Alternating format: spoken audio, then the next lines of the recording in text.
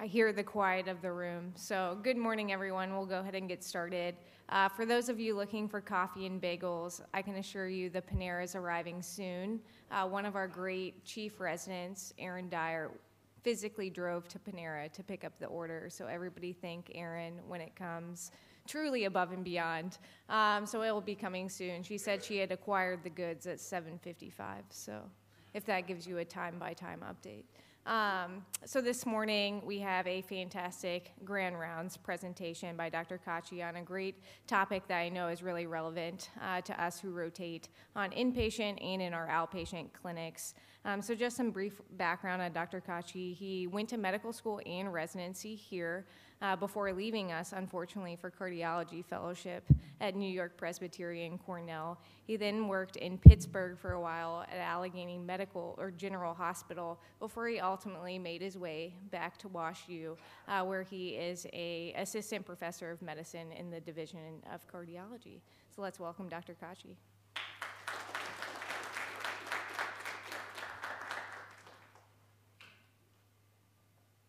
Thank you. Can you guys hear me okay?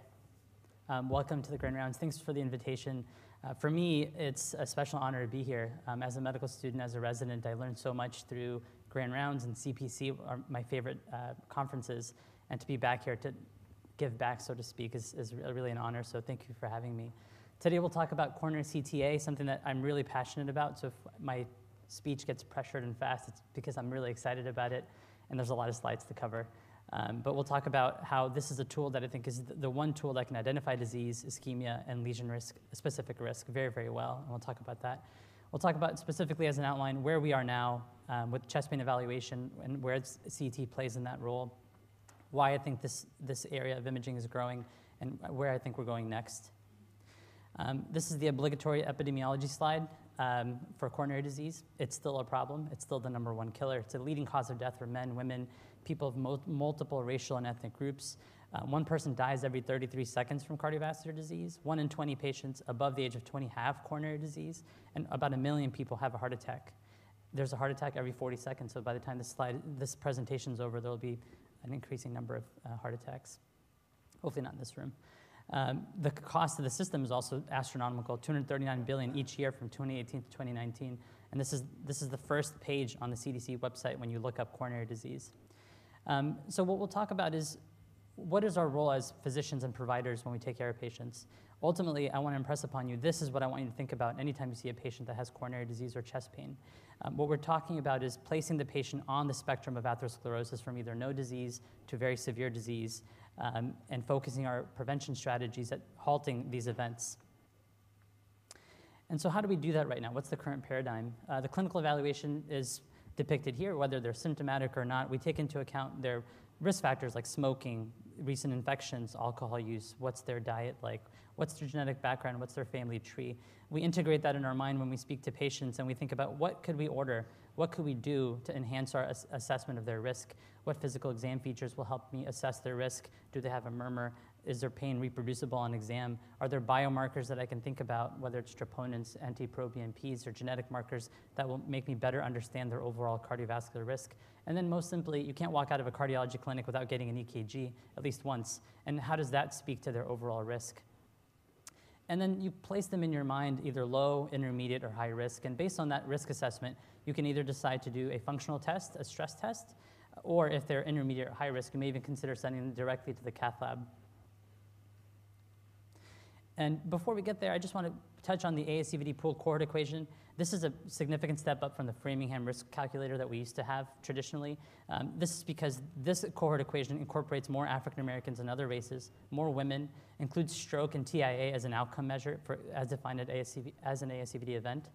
And it does a much better job in, in, compared to older um, risk calculators in assessing risk. However, it still underestimates risk in patients that are American Indians, South Asians, Puerto Ricans, and it overestimates East Asians, Mexican Americans, and obese patients. So it's not perfect. So if you want to further risk stratify and understand your patient's risk, you, can, you have one of two options. So one of the most common questions when I'm on firm, how do we decide what kind of stress test to get? How do we think about the patient? Um, and maybe we'll go through that a little bit. There's two major options. You can either exercise them on a treadmill, or you can give them a medication um, vasodilator challenge. And for an exercise stress test, very simply, you put them on a treadmill, you hook them up to an EKG, and you see how long they go, which has significant prognostic information, and what happens to their EKG as a uh, sensitive marker for ischemia. If you are interested and want to get additional imaging, you can echo them before and after their exercise and see if there's differences in wall motion abnormalities that could suggest the presence of coronary disease. You can do this either with medication stress or exercise stress. Additionally, if you want to get even more advanced with advanced imaging, you can give them a vasodilator uh, medication, such as regadenoson, and image their uh, heart before and after that, that stress challenge. And also with MRI, with stress perfusion MRI, you can also give them gadolinium and identify any um, scar uh, that may hone in on your overall cardiac risk and their diagnosis. Uh, and on the nuclear end, you can give them technetium-99 with SPECT or rubidium or ammonia and PET and get an assessment of ischemic lesions and identify where they are on this atherosclerotic cascade. A, a, positive test in any of these modalities that I've just outlined would give you an idea that the patient probably is on the right hand of the screen here. A negative test most likely suggests and correlates with patients who have less disease or non ischemic disease. By contrast, coronary CT angiography can more directly and comprehensively address our coronary questions. Uh, before we delve into how coronary CTA um, can give us this information, let's just do a quick basic review of how a CT scan works and how we generate the images and the data that we'll spend the rest of the hour tackling. A CT scanner is comprised of an X-ray tube and a detector.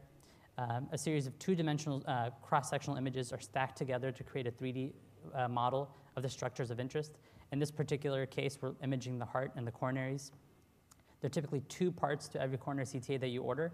The first one is a non-contrast sequence to obtain a coronary calcium score, and the second part is a contrasted angiography sequence that outlines the coronary arteries.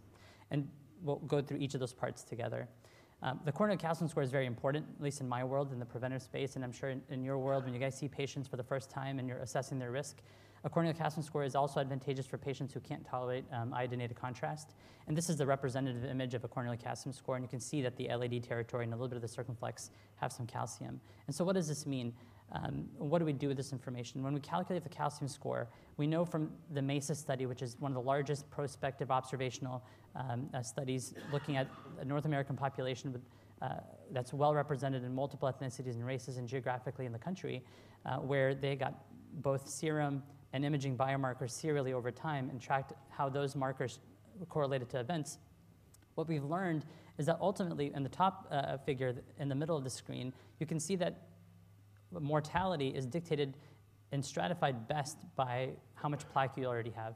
So you can be 75 to 84 years old with a CAC score of zero and still have less risk than a 45 to 54 year old who has a CAC score greater than 100. Um, just let that sink in for a second. Think about all the 85 year olds that you see and how different their risk is just based on a calcium score stratification. The same holds true if you stratify by risk factor burden. So, a patient that has three traditional risk factors like obesity, diabetes, or smoking can still have less cardiovascular risk of mortality with a calcium score of zero compared to someone who has no traditional risk factors and has a calcium score greater than 100, depicted on the bottom middle figure. And so, if you take the ASCVD pooled cohort equation buckets that we typically assign patients to, and you only look at intermediate or high risk, and then you further stratify those patients that fall into those uh, buckets by calcium score 0, 1 to 100, or greater than 100, you can see that in the left-hand side of the, uh, uh, of the last figure on the right, the calcium score further stratifies their risk and de-risks a significant portion of those patients. A couple of takeaways here is that the observed ASCVD rates compared to the pro pro projected ASCVD rates based on those buckets is discordant. I think the observed ASCVD rates through the MESA study were always lower than the calculated risk. And to be more precise in our risk assessment, calcium score can be extremely helpful in identifying patients who are truly at risk or at, at lower risk than their predicted values. So as I said, every coronary CTA that you order will get a calcium score, so you'll have this information at your disposal. But I'd highlight that a positive calcium score really gives you atherosclerosis at the end of atherogenesis, and a negative calcium score really doesn't tell you anything about what's going on before that the plaque is calcified. Um, and so how prevalent is this? One of the most common questions I get is, well, what's the likelihood that I have non-calcified plaque if I have a calcium score of zero? There have been multiple studies in different parts of the world, in East Asia, Europe, as well now in, um, in, in the US, led by Khurram Nasir. This is the Miami Heart Study looking at asymptomatic patients, all comers, um, 2,000, 2,000 individuals in the greater Miami area, aged about 53. Half of them were women, half of them were Hispanic or Latino, the other half were, were white and African American. And they looked at the, they all got coronary CTAs, calcium scores, and a coronary angiogram. And they looked at only patients that had a calcium score of zero. And you can see that 16% of patients still had plaque, even though they had a calcium score of zero. And the highest subgroup that had that were men at 22.9%. So one in five patients can have some degree of plaque, even if their calcium score is zero. And that's been reproduced in different cohorts, and that number changes from 5 to 15% dep- depending on the pretest probability and the population you're studying. So moving on to the next part of the CT scan is the contrasted uh, portion of the CT scan. This is where we inject iodinated contrast with the hope of better outlining the coronary arteries and identifying plaque characteristics and exactly where um, the coronaries, um, um, where the risk lies within the coronaries. Uh, and so when you order this test, um, one of the frustrations from the ordering side, and one of the areas of confusion when I'm on firm is um, which patients are eligible for coronary CT and which ones are not. One of the biggest reasons why we turn patients away or we discourage a coronary CT, which I don't like to do, but when we do it, it's because of poor heart rate control. And why is this so important? Um, well, the heart's a moving structure. And in order to image a moving structure, you have to make sure that you have a fast enough scanner that can capture Im- still images um, that can be diagnostic. And so what we do to, to address this issue is that we gate it to the ECG, the, the EKG. There's two points in the cardiac cycle in the R interval where the relative motion of coronary segments is, relative, is, is at its lowest uh, along the majority of segments, and that's in diastole, around 60 to 70% of the R interval. You can see in that figure on the top left that if you model the velocities of each of the coronary segments from uh, 14 different segments, the lowest velocity and the, and the most consistent velocity is at that point in diastole. There's a second period in end systole where there's relatively low motion, which we always, which we always consider imaging as well if the patient's significantly tachycardic. Um, for our traditional single source CT scanners with shallow Z axis coverage and limited temporal resolution, as depicted here, um, acceptable heart rates can be less than 70 beats per minute. And here's an illustration uh, illustrating that point that that ideal period of motion free period in diastole has a um, 350 millisecond duration. And if you increase your heart rate up to 72 beats per minute, that diastolic period goes down to 128 milliseconds, right at the border of the lower end of the spatial the temporal resolution for a, for a single source CT scanner. This is why we harp on heart rate control and optimization of our, of our scans. However, we now have dual source scanners, and we're lucky enough here at the Mallinckrodt to have a, a number of these and excellent equipment. Um, and with dual source scanners, your temporal resolution could go down to 66 milliseconds, so improving by a factor of two. So now we can tolerate higher heart rates and image patients who, are, who have heart rates from 80 to 100, and we can toggle over to the systolic period, which is less sensitive to heart rate than the diastolic period. Meaning the higher your heart rate gets, that end systolic period stays at about 125 milliseconds, and our modern scanners can handle that really, really well. And so with that, we can make images like this. We can give you a, a, a beautiful um, outline of the coronary tree from the left main to the distal LAD or any of the side branches. And I can tell you with certainty, or with more certainty, um, whether they have no CAD, minimal, mild, moderate, or severe coronary disease. And I can tell you if it's calcified or non-calcified, and I can characterize the plaque along each of those arterial beds. And not only that, we can stack the 2D images and make 3D representations of these. And because CT, uh, the CT technology has isotropic resolution, we can define plaque and define the structures in, in X, Y, and Z axes. And in so doing, we can identify patients across the entire spectrum of atherosclerosis. And why is that important? Well, here we can see the annual mortality risk from pooled data from medical therapy control arms from various prospective randomized trials comparing optimal medical therapy to revascularization. And while it's not surprising that the extent of CAD from single vessel disease, two vessel disease to triple vessel disease is correlated with worsening mortality, we know that the story of the events that drive this mortality is far more interesting. Uh, Here, I show that serial angiography data dating back to the 80s and 90s taught us that the majority of culprit lesions at the time of ACS involved precursor lesions that previously harbored plaque that was less than 70% stenotic. You know, uh, our, our, our inclination is to focus on the most obstructive lesions when we're assessing patients, but the, the lesions that are causing events are the ones that were non-obstructive in the past. And this has been replicated again and again from the 80s and 90s to more modern contemporary imaging studies involving CT as well. And this isn't just for ACS patients. This is also true for sudden cardiac death patients. This, um, this is a representation of This figure is a representation of a study looking at 50 consecutive patients who came in with coronary sudden cardiac death. And what they did was that at autopsy, cross-sectional pathologic specimens were analyzed, and a, a, an estimate of their percent stenosis or plaque burden was, was conducted by um, pathologists and showed that the precursor lesions or the culprit lesions where there was thrombus harbored plaque that was less than 70% stenotic in the majority of patients. And so, while traditional practice patterns define primary and secondary prevention around an ASCVD event, as depicted here, I'd argue that we ought to focus on preventing plaque from, from uh, starting from the start. And so, a new proposed method of prevention should focus on primary prevention before plaque is, has formed and preventing that plaque from progressing as secondary prevention. And moving that timeline to the left will maybe help us reduce events and, and improve our patients' mortality rates. So this is exactly where CCTA will shine. Um, and I'll show you very briefly how coronary CT angiography can help you confidently rule out disease, how we can identify early inflamed coronary plaque by assessing the perivascular fat attenuation signature from each vessel. Uh, we'll also talk about how we can identify soft or rupture-prone plaque with CT angiography before it becomes obstructive and before it has rupture to cause an ACVD event. We'll also talk about when the patient presents to the emergency department with chest pain, how, how can we use CCTA to better refine who needs further intervention, who does not. And lastly, we'll talk about how uh, CCTA has allowed, advances in CCTA have allowed us to model ischemia and different types of stress along the plaque that can predict which plaques will rupture and which ones will not. We'll start by identifying how CCTA can rule out disease by sharing with you a case of a patient I took care of recently. It was a 56-year-old woman with dyslipidemia, prediabetes, um, hypertension, obesity, who presented to me for evaluation of dyspnea on exertion. I went ahead and ordered a CCTA because of all the reasons I've already sort of touched on with you. And I can sh show you here, here's the LAD, here's the RCA, and here's the circumflex.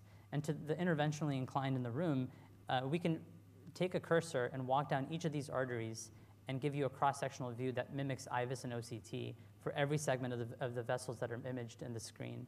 And so not only can we uh, identify plaque, if we do, we can characterize it in a three-dimensional ma manner that's very, very helpful for our colleagues. Um, and just to note here, this patient also has a calcium score of zero. So I, I get to arm her with that information as she's making decisions about her cardiac prevention therapies. Now, with respect to, with respect to her symptoms, I can also now be confident that it's not coming from coronary ischemia. She does not need stress testing. She does not need any other further cardiac tests to make me rule out coronary disease because I have done that very confidently here. And I'm, i can lean on that very aggressively in the, in the patient's room because there's a plethora of data going back two decades showing that the negative predictive value is anywhere between 90 to 99% for a negative CT scan. And this is with all traditional scanners that are not as good as the ones that we have today. And also, this, the 90 to 99% variance is explained by how they define coronary sorry, coronary disease by coronary angiography. That's why I want to stop and just talk about what's con been considered the gold standard in these studies is coronary angiography. There are limitations to coronary angiography, even though it's a great imaging modality and a, and a tool for us to image small vessels that are anywhere between two and four millimeters in size. The spatial resolution of a cath is less than 0.2 millimeters, which is excellent for imaging small structures. The temporal resolution is excellent at 33 milliseconds, as opposed to traditional CT scanners that had a spatial resolution of 0.4. And as I told you, uh, a temporal resolution anywhere between 60 to 120. Our new force scanners that we have available at the Mallinckrodt um, are dual source, have a spatial resolution of 0.24, and a great temporal resolution to make these images. And the other big point I want to make about coronary angiography considered as the gold standard is that, yes, it's great for all the reasons I just mentioned, but what is projected in a, a 2D image representation of a 3D structure can be extremely misleading. What looks one way in one image can look completely different in another one and can drastically change our interpretation. And you don't get that problem with coronary CT because, as I mentioned, you get isotropic resolution. If something looks funny one way, you can spin it around and really identify exactly what's going on. Here's a, a, a representative image from the um, accuracy study looking at a coronary angiography study with QCA, which is quantitative coronary angiography in the top left, the same vessel on panel B, and a uh, straightened multiplanar reconstruction in panel C. Um, and you can see that there's a good correlation here between corneal coronary angiography and CT. How about identifying patients who have plaque, when they or even before they have plaque? How about identifying inflammation? As we know from multiple Grand Rounds talks that we've had over the years, that it's not just atherosclerosis that's the problem. There's also inflammation that drives atherosclerosis that we need to identify to help reduce the risk of our patients. And how, how can CT do that? Well, the, if you look at the tissue immediately surrounding the coronary vessel, you have adipose tissue. And this is called perivascular adipose tissue.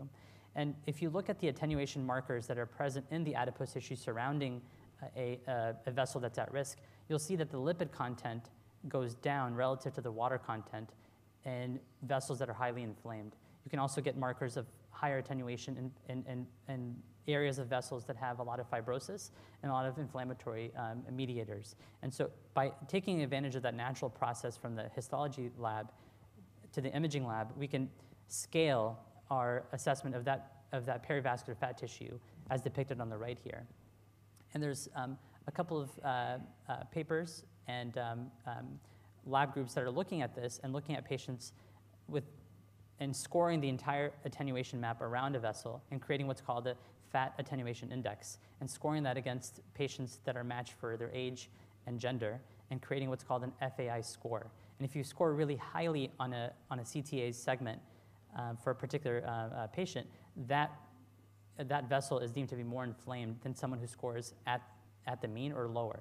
And here is depicted a, a patient that had an FAI score that was elevated at rest, at baseline, I'm sorry, and then underwent therapy with 40 milligrams of statin and had a repeat scan in a year, and you can see that their FAI score went down uh, substantially. And this is, some, this is a way in which CCTA can be used to track the presence of inflammation and responses to therapy.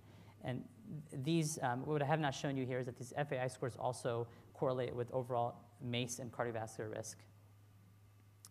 What about coronary CTA for the purposes of identifying soft plaque that may not be inflamed or may be inflamed, but also has characteristic features within the plaque that are more likely to rupture than others. What we've learned um, will be illustrated in this case, uh, another case of a patient that I took care of, who's a 49 year old woman, hypertension, dyslipidemia. She has intermittent left sided chest pains that improve with nitroglycerin. But she was seen by her PCP, and her LDL was not terrible, and she had a nuclear SPECT exam that was deemed to be normal.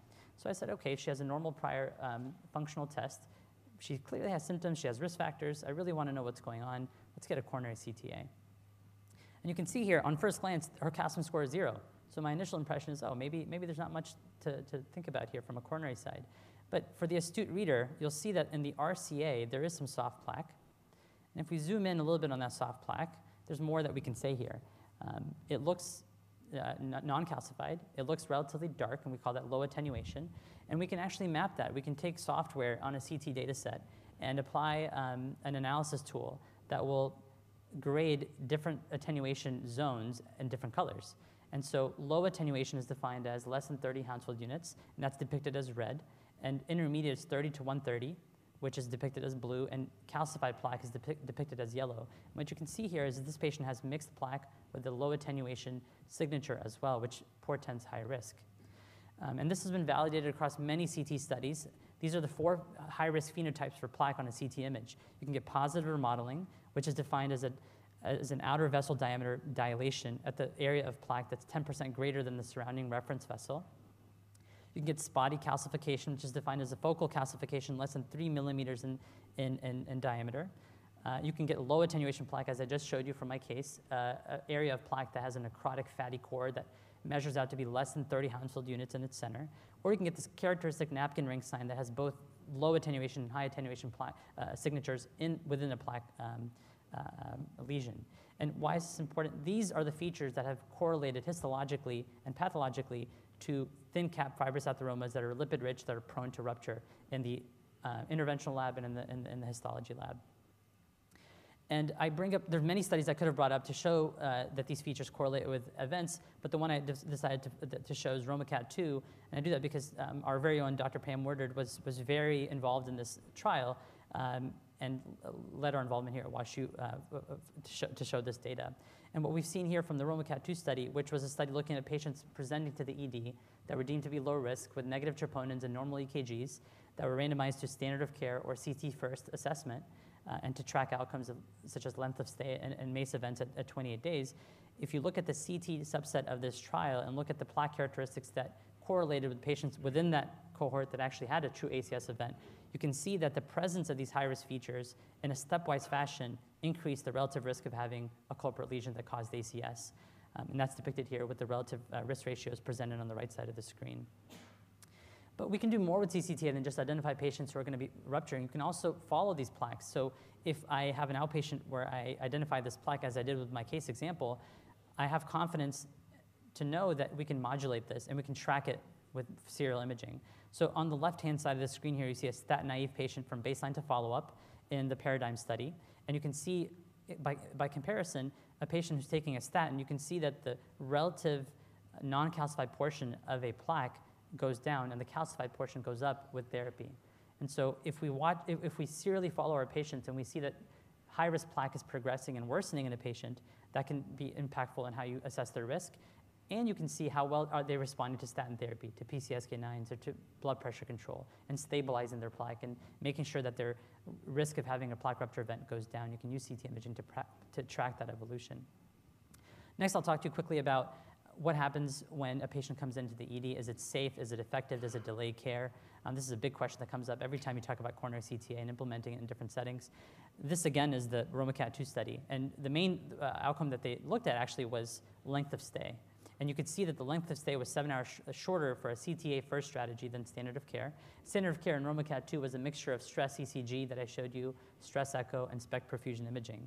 And you could see that not only was the length of stay shorter, uh, it, there were more rapid, the percent of rapid discharges were higher with the CTA arm, and there was no uh, difference in undetected ACS events and no difference in MACE at 28 days, so it was a safe strategy. There was more downstream testing, but I'll remind you that ROMICAT 2 occurred in an era where we could not do ischemic testing with the CTA dataset. So if someone had an intermediate or significant lesion, often that prompted another functional test. So that, that's what the more downstream testing refers to. And overall cost was very similar between the two groups. This is back 10 years ago. If you look at a contemporary era uh, analysis of the ROMICAT 2 study looking at high sensitivity troponins, you can see that CCTA in the intermediate risk group, meaning patients who have a high sensitivity troponin that's not above the 99 percentile, but it's also not normal. If you use CCTA first, you can further uh, declassify 72% of patients that can be discharged safely. So 72% of patients in the intermediate risk group can be safely discharged, knowing that their ACS events are going to be low if you have a normal CCTA. The other uh, 28% will end up needing further assessment potentially depending on what their CCTA shows. And lastly, how can we model ischemia? How can we use, how can we use the CTA data set to model what's happening to these lesions, which ones are functionally significant, which ones are likely causing symptoms, and which ones are going to lead to events and which ones are not. And before we get into that, we have to have a basic understanding of what FFR is, which is fractional flow reserve. This is a tool that we use in the cardiac cath lab to assess whether there is a significant pressure drop across a lesion. And there's a lot more math and derivation that I could go into, but for simplicity's sake, during maximal hyperemia, which is induced by vasodilators like adenosine, um, the, the, ratio between the distal coronary pressure to the proximal coronary pressure um, is, what, is the tool that we use to assess how much significance is there across that lesion. And the, the reason why we use 0.8 as a cutoff is because if you look at the, um, the, the major cardio- cardiovascular events and studies looking at FFR assessment, 0.8 and above has relatively low MACE events, and 0.8 and below has very high MACE events. And so we use 0.8 as a cutoff for FFR to define as um, abnormal. And what we use in our cath lab here at WashU is something called IFR, which is sim- has similarities to what I just told you, but the cutoff is 0.9 or 0.89 rather than 0.8. So how do we use coronary CT data sets to, to estimate that and to model that? Um, there's a lot of math and derivation here, but to keep it simple, we take the CT data sets and we use the principles, the allometric scaling laws of, of biology that dictates that the amount of total coronary flow or blood flow to an organ is proportional to the size of that organ. So your brain and your gut and your heart get different amounts of blood flow proportional to their mass. We can derive myocardial mass from a CT data set because we're looking at the myocardium and we can uh, correlate myocardial mass to myocardial volume based on uh, the density of a, of a human uh, myocardial tissue. So we can get the total coronary flow for a particular organ. We can then model to- total coronary resistance, knowing that the relationship between pressure and flow and resistance is stated as such. We use the mean brachial pressure of a patient as a surrogate of pressure, and so we can solve for total flow, total resistance, and then we can use what's called the Navier-Stokes equations, which are uh, physical principle uh, equations that dictate what happens to fluid as it goes through different uh, uh, tubes. And we can then model what's happening at each arterial level in terms of flow and pressure. And by doing that, as I just told you about FFR, you can model what's happening distal and proximal to a particular lesion, and you can assign it values that correlate with the cath lab. And so how accurate are these modeling assessments of a CT data set? It's been FFRCT has been around for about a decade now, and it's, and it's been uh, rigorously tested in prospective registries and trials comparing to invasive angiography. And to keep it simple, the NXT trial looked at 254 patients that underwent both CT and invasive angiography, and the overall accuracy of, FFR, of FFRCT in predicting a lesion that's ischemic on cath lab assessment with FFR was 80%, improved up from just looking at the lesion and looking at the percent stenosis of, of an accuracy of 50%. The specificity goes from 32% to 79%, so it's significantly improved in doing so, just above and beyond looking at just CT stenosis alone. Um, the Pacific trial is also an important one to, to mention. This was from 2016. Um, this looked at 208 patients that all actually underwent SPECT, PET, CT, and CTFFR, and coronary angiography. Um, I haven't seen another a, a trial like this. This is very informative in my practice and how I look at all these because I, I perform all of these imaging modalities myself. And this gives me a relative um, sort of uh, accuracy between them. And so if you look at how FFRCT performs, you can see that the diagnostic accuracy here is 87% for FFRCT for identifying lesions that were confirmed to be positive in, in invasive lab with FFR, compared to 80% with PET, 82% with SPECT, and 79% just by looking at coronary CTA alone. And here's the area under the curve, receiver operator curve for these different modalities. You can see that it's 0.94 for FFRCT um, as opposed to 0.87 with PET and 0.83 with SPECT. And the outcomes that I showed you with the invasive FFR with the FAME study has been reproduced with FFRCT with the NXT long-term outcomes registry and advanced registries, showing that every increment and uh, uh decrease of FFRCT correlates with increased risk of having a MACE event, just like we depicted with, with the FFR data. But it's not all perfect. There are limitations. I just told you this is all modeling. This is all anchored in the fact that you have good quality data. Uh, and so if you have artifacts that, cause, that are uh, driven by calcifications, motion, arrhythmias, then you'll have a poor 3D anatomical model and you'll have a poor um, a correlation with the invasive FFR group. There's also a number of physiologic assumptions that are made with FFRCT that aren't always specific to your individual patient, that are based on population-specific and patient-specific data that maybe can't be extrapolated perfectly. And there's an assumption that there's no microvascular disease in the FFRCT model.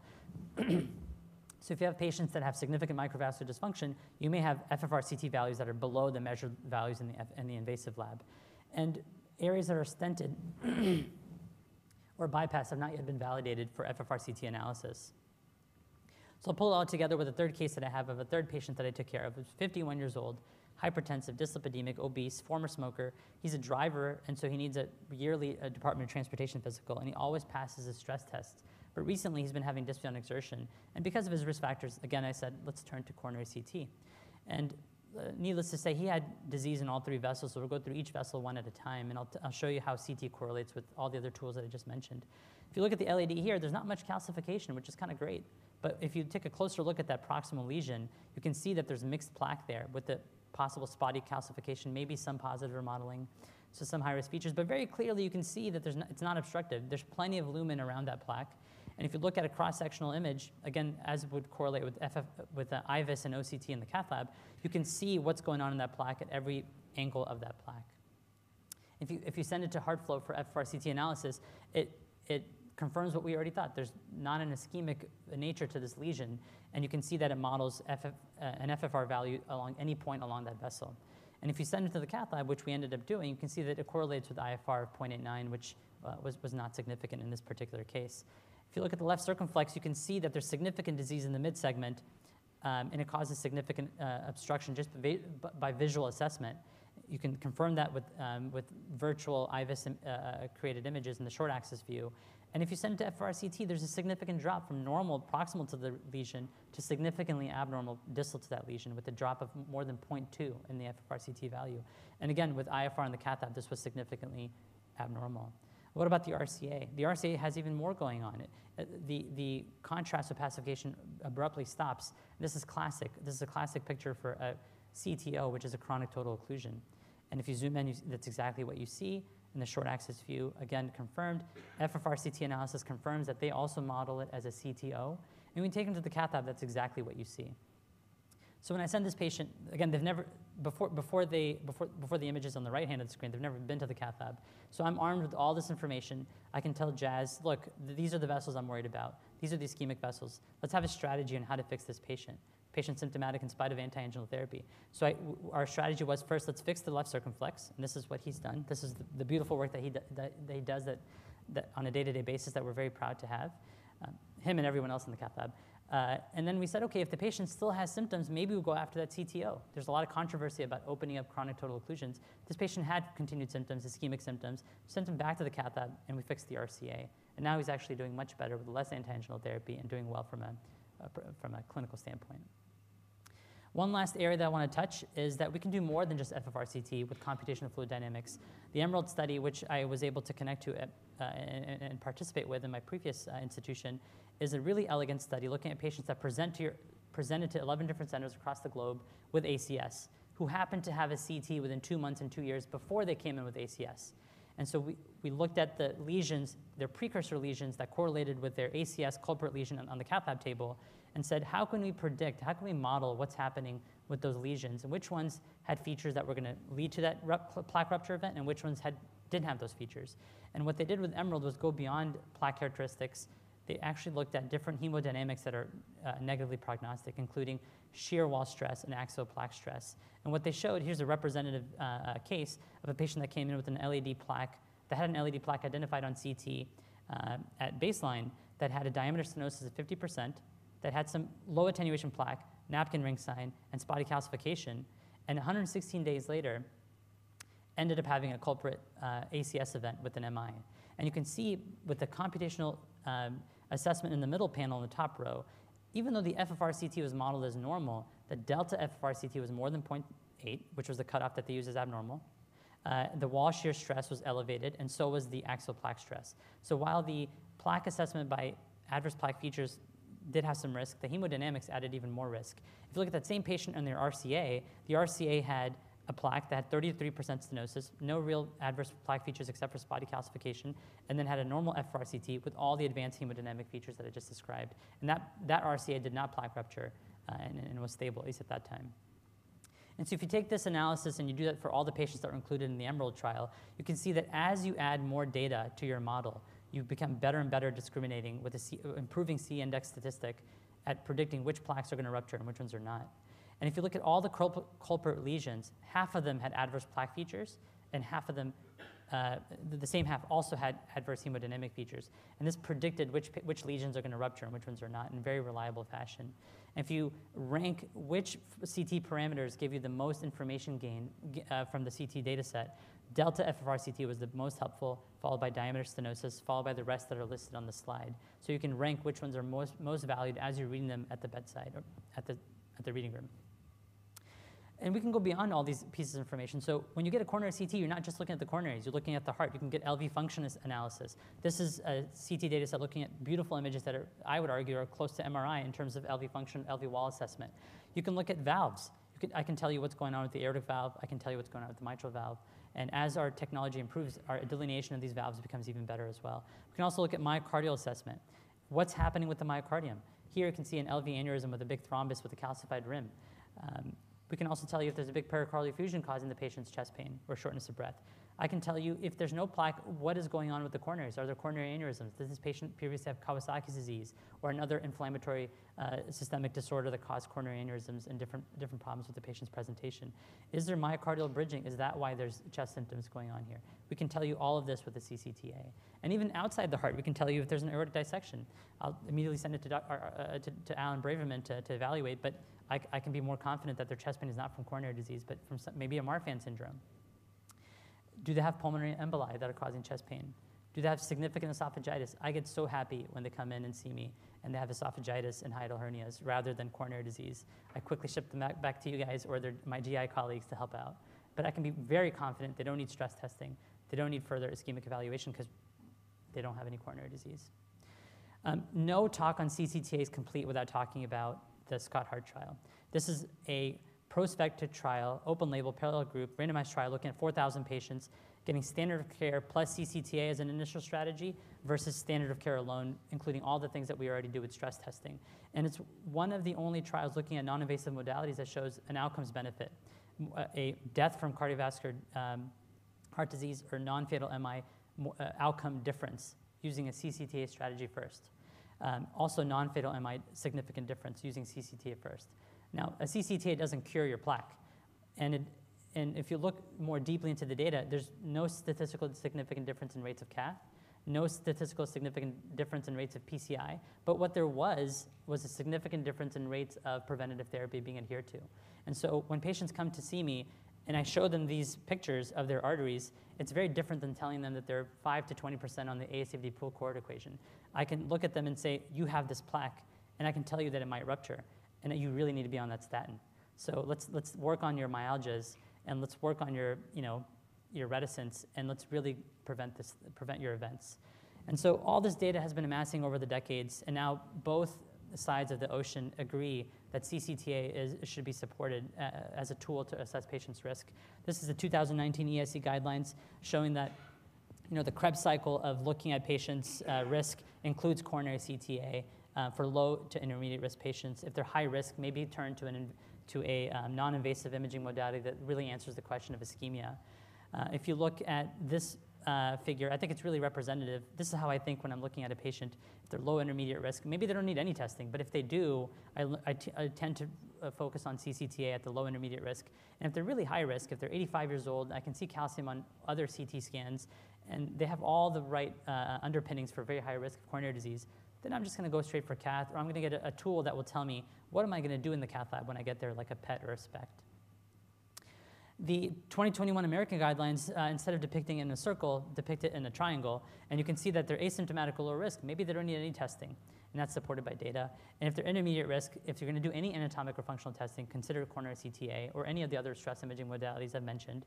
And if they're super high risk, maybe they go straight to the cath lab where we can do invasive assessment. This is a busy slide, but I just want to visually depict that coronary CTA is right alongside all the other stress testing modalities with now a class 1 indication. It used to be 2A, 2B. And you can use FFRCT with a 2A recommendation if you have an intermediate lesion where you're wondering about the ischemic potential of that lesion. This is for acute chest pain with intermediate risk. If they have known prior testing, but the prior testing was inconclusive or mildly abnormal more than um, less than a year ago, then you can consider CTA with a 2A indication and FFRCT as well. What about the stable uh, chest pain population with no known coronary disease? Well, that gets a class one indication if they end up falling in that intermediate risk that I told you about before. If they're low risk, maybe they don't need anything. If they're high risk, maybe they, you go straight to other imaging modalities. Um, if you're going to take away anything about how to incorporate all the data I've told you and how to incorporate into your practice in the clinic, I would take this one away. If you're intermediate or high risk and you're young, those are ideal patients for CCTA. We're more likely to get diagnostic images, good quality images, and images that will help change your management.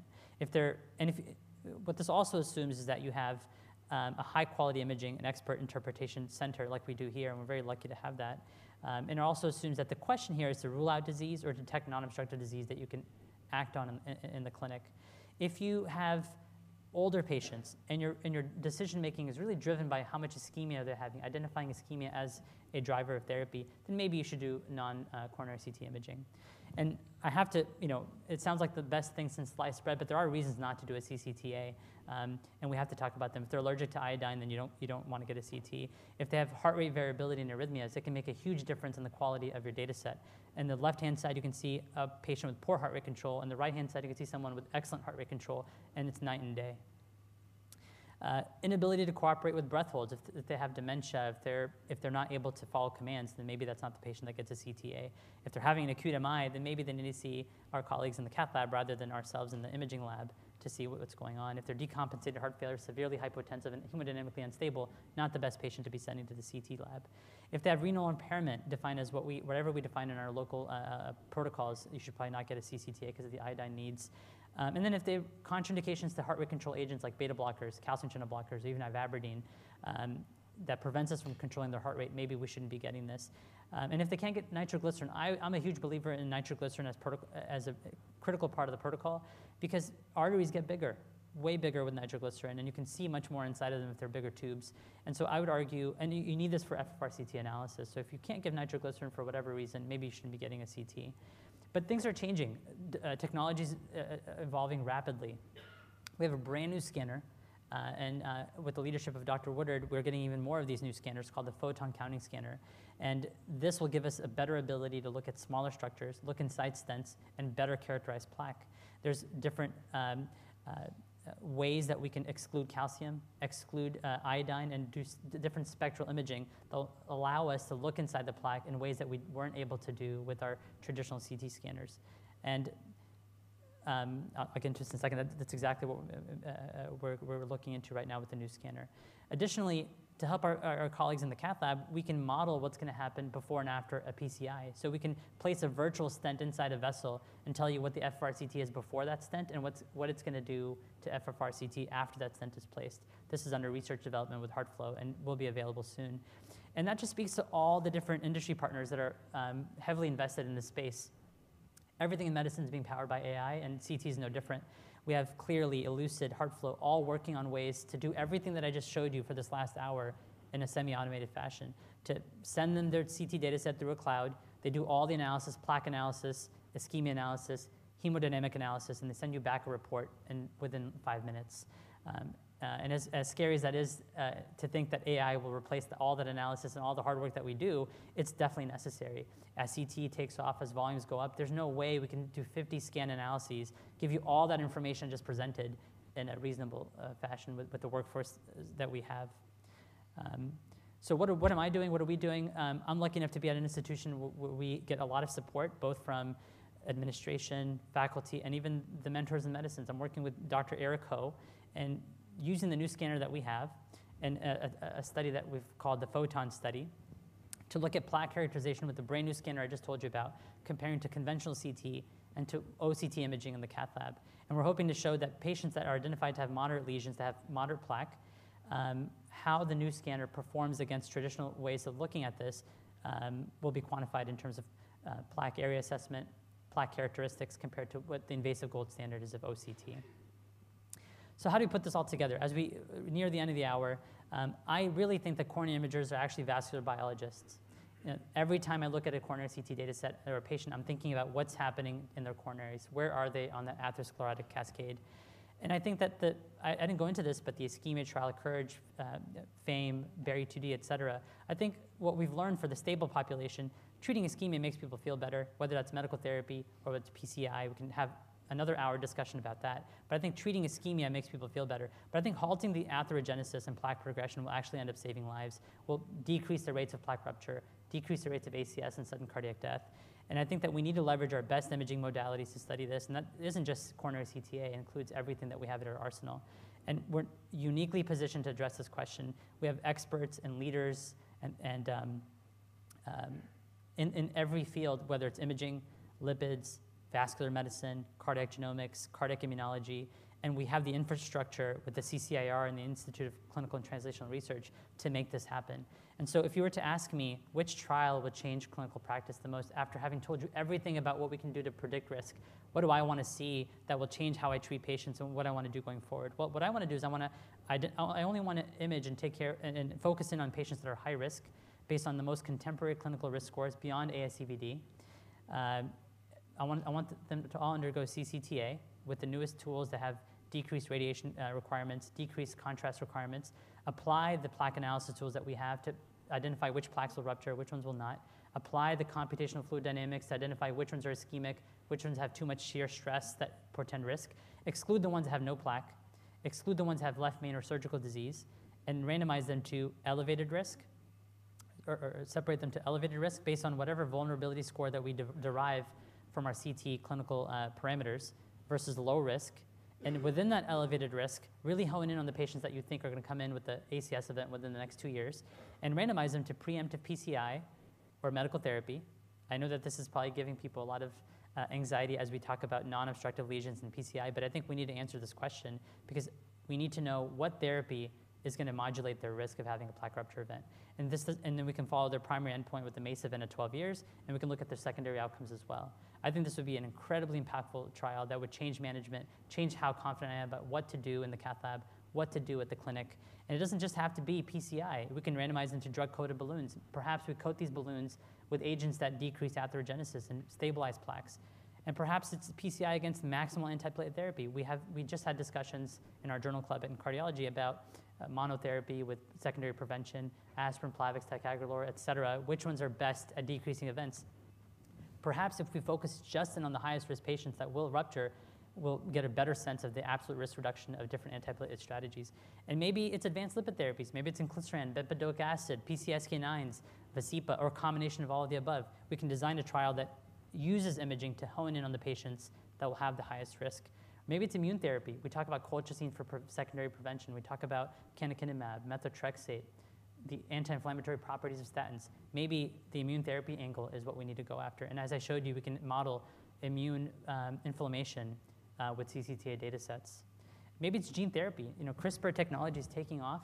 Um, Verve is a company that works on uh, knocking out PCSK9 um, uh, genes. Maybe there's genetic therapy that we can, uh, that we can study uh, for patients who have the highest risk of having these events. And so, in summary, I think what I hope you take away from this talk is that CCTA can effectively rule out disease. It can identify atherosclerotic, atherosclerosis early. It can track disease progression. It can identify plaque vulnerability. And it can, with its hemodynamics, it can identify lesions that may benefit from coronary interventions. And maybe the next time um, that I'm here, uh, we'll have done the trials that I just outlined to you, and I'll be speaking to you about those results. And I want to thank all the support I get from the Department of Medicine, Cardiovascular Division, from the, from Mallinckrodt, and my fledgling growing research team that includes our internal medicine residents. Thanks for your attention. I'll take any questions.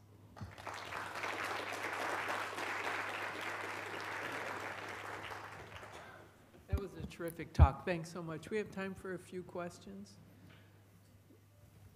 Pam? So far, that was excellent. I mean, uh, what a wonderful summary of everything that um, can be done now, and then also future in terms of not just, you know, stenosis assessment, but prediction, which I think is the way, you know, we, you like, you know, we'd like to, to go with this.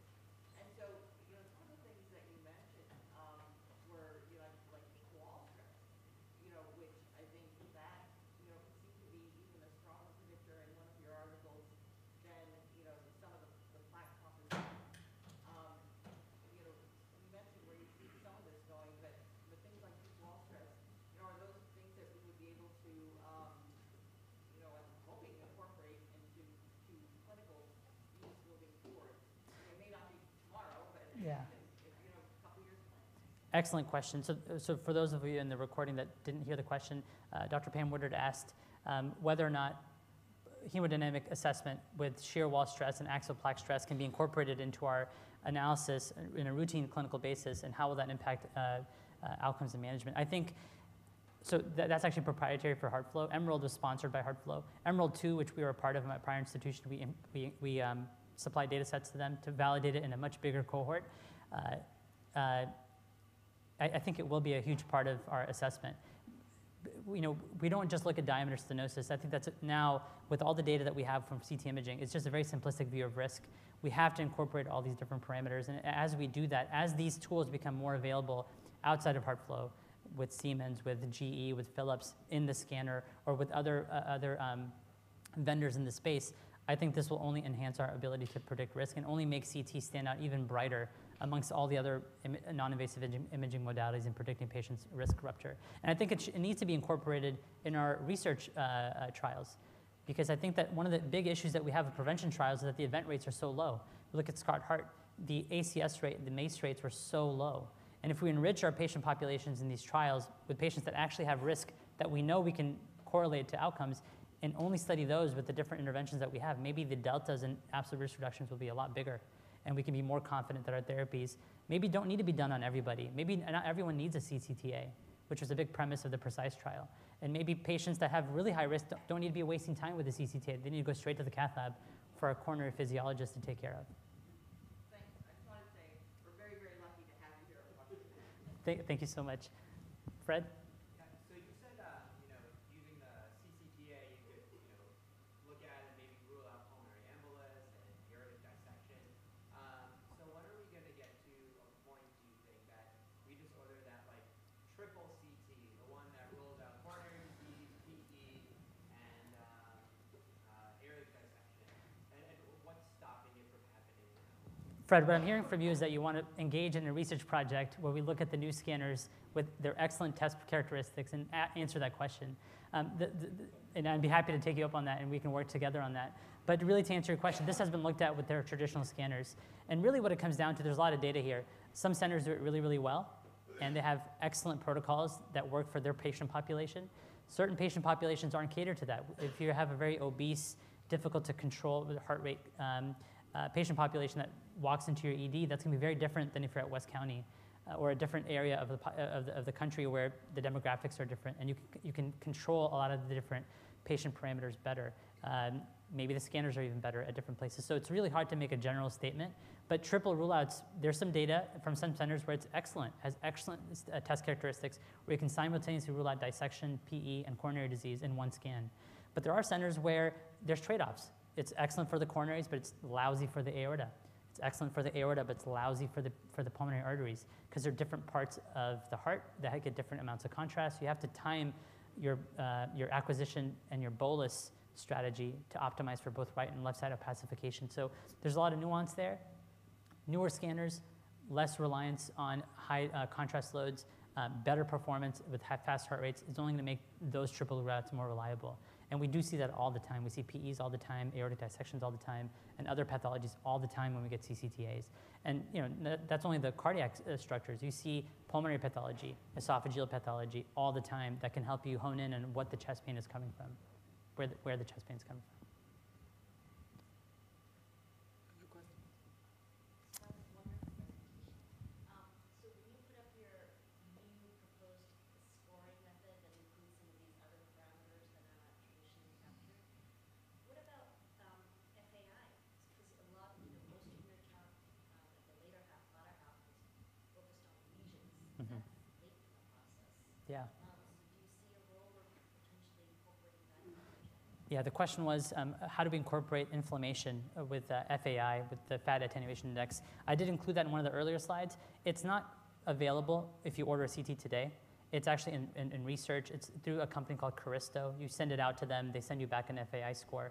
I'm very excited about that. You know, I'm all about prevention. When I'm seeing a patient, what they want to do is they don't want to wait until they have an ASCVD event. They want to start therapies as soon as they, they can with the confidence of knowing that they have high risk. And I think there, it's a burgeoning field.